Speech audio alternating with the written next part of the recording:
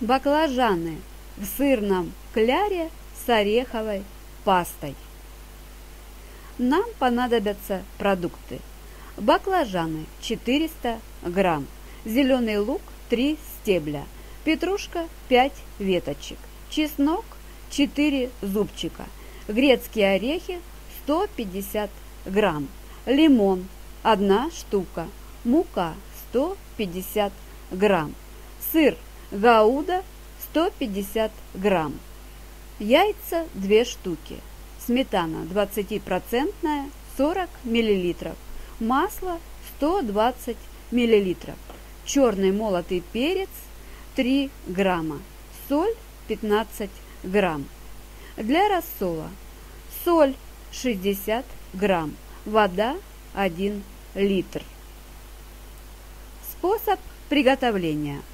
Нарежьте баклажаны кружочками. Затем каждый кружочек разрежьте по горизонтали пополам, не дорезая 1 см до противоположного края.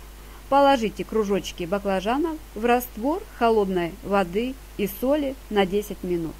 Для начинки перебейте чеснок, зеленый лук, грецкие орехи и петрушку в пюреобразную массу с небольшими вкраплениями орехов.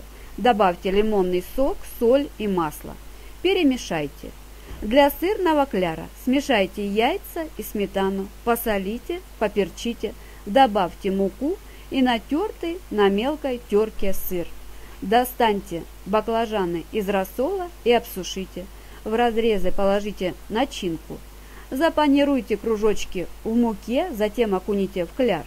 Жарьте на разогретом масле по 5 минут с каждой стороны.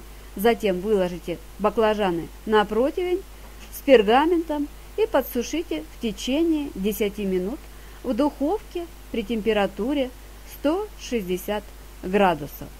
Приятного аппетита!